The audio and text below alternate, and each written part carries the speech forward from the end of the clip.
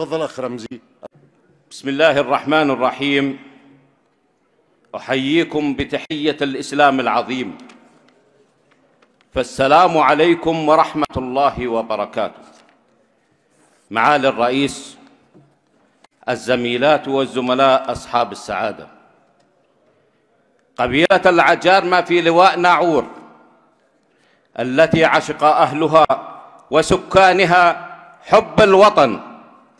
وتجرع الانتماء والولاء لقيادتها الهاشمية كابرا عن كابر. فهموا معنى الوطنية ودرسوه لأبنائهم ليكونوا حماة الوطن أوفياء له قادرين على بناء لبنات التقدم والرقي منافسين وبقوة في مجالات العلم والتعليم. سباقين للتميز فهم حصاد الأجداد من نشأوا على فطرة الإسلام وحب الوطن.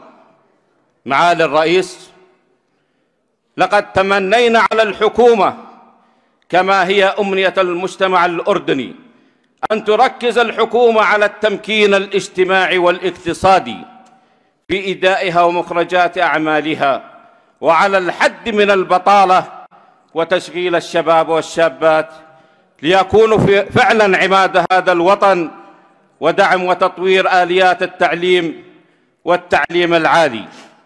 وعلى وعلى كل حال فإن مشروع الموازنة العامة للعام 2022 للحكومة والوحدات الحكومية والذي قدم لنا من قبل الحكومة الرشيدة فيه من الإيجابيات والحلول والتطوير والإنماء لبعض القطاعات التي تحتاج فعلا لذلك وخاصة قطاع الصحة والتعليم.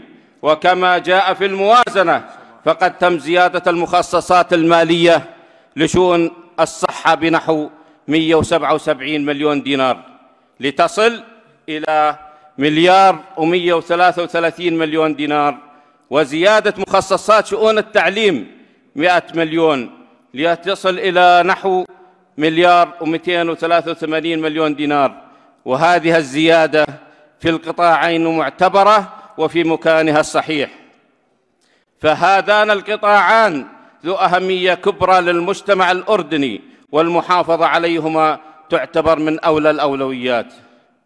وبعد دراسة تحليلية للموازنة المقترحة من قبل الحكومة للعام 2022 فأقول ما يلي.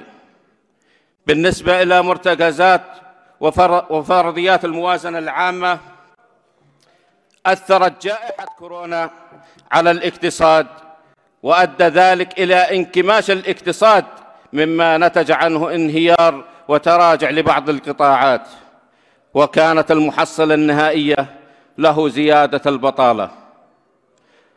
وإرهاق الخزينة بتكاليف إضافية. وهذا الأمر لم تظهر لنا الحكومة في الموازنة المقترحة كيف معالجته. وما هي البرنامج التشغيلية المقترحة للحد من البطالة؟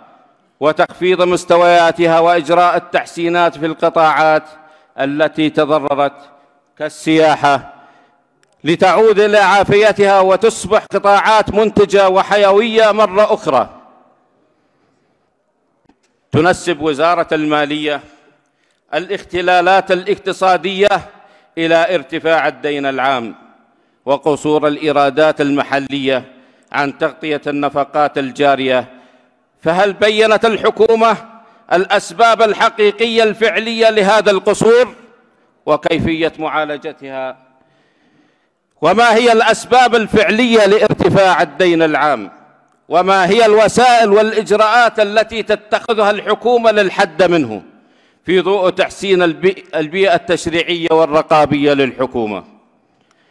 من المحاور الأساسية في الموازنة تحسين البيئة الاستثمارية وتحفيز التشغيل ودعما للقطاعات الاقتصادية كالسياحة والزراعة والصناعة مع توقع الحكومة عودة القطاع السياحي للعمل بأسرع وقت ولكن هل قامت الحكومة بوضع خطط بديلة في حال لا سمح الله لم يتم فتح جميع القطاعات وخاصة السياحية والصناعية؟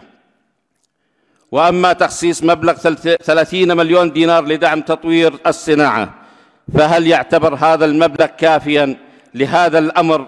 خاصة ونحن نبحث عن تطوير الصناعات الكبرى والتكنولوجيا للحد من البطالة وزيادة الدخل القومي وتنشيط الميزان التجاري وحركة التصدير.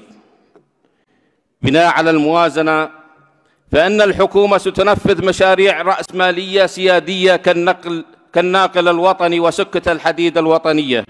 ألم تفكر الحكومة جديا في الاستفادة من التشاركية بين القطاع العام والخاص في تنفيذ مثل هذه المشاريع؟ وذلك للتخفيف من العجز المالي في الموازنة.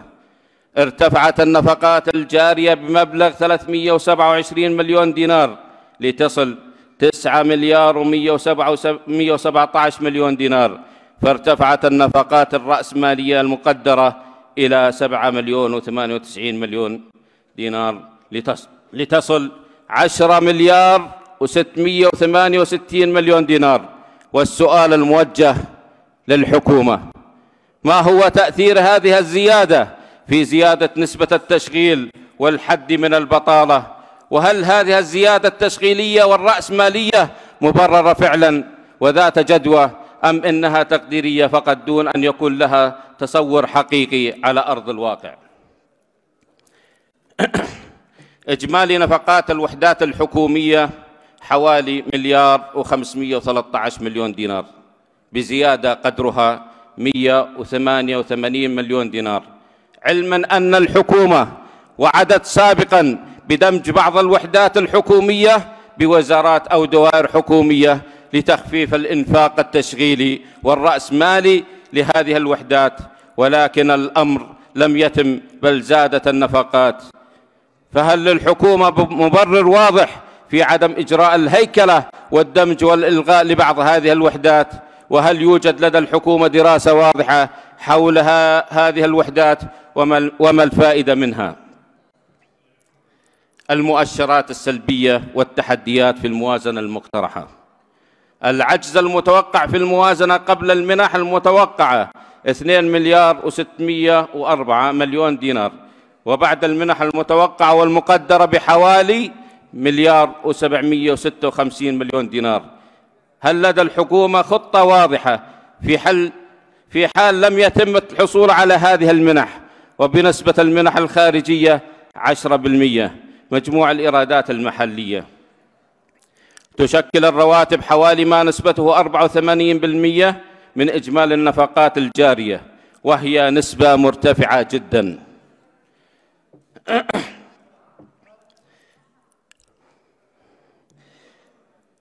لا تحتوي مشاريع النفقات الرأسمالية على مشاريع كبرى مؤثرة اقتصاديا وفيها زيادة الإنتاج وكفاءته.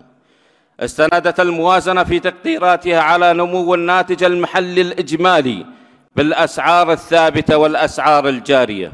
وهذا التوقع مبني على فتح كامل للقطاعات وعودة إنتاجها بالكامل كما كان الحال قبل الجائحة.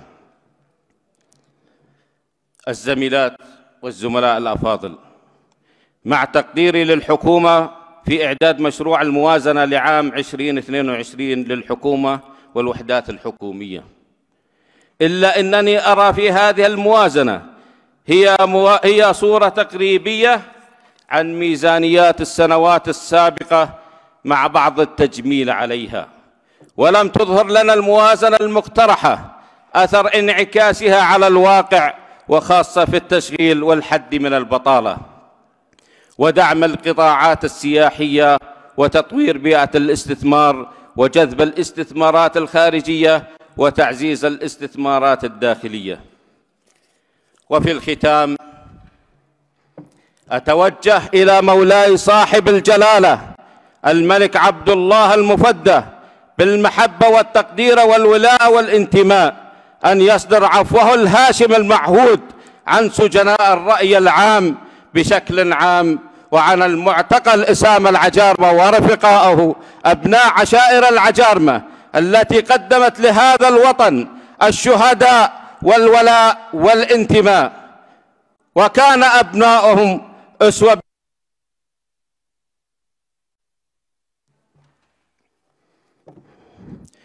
وكان أبناؤه أسوة بباقي الأردنيين درعا حصينا للوطن. وما عدناه من مكارم الهاشميين فليس مستغربا عنكم سيدي ومولاي صاحب الجلالة سليل الدولة الهاشمية. والعفو شيامكم سيدي. حمى الله الوطن وقائد الوطن المفدى وولي عهده الأمين. والسلام عليكم ورحمة الله وبركاته. وعليكم السلام ورحمة الله.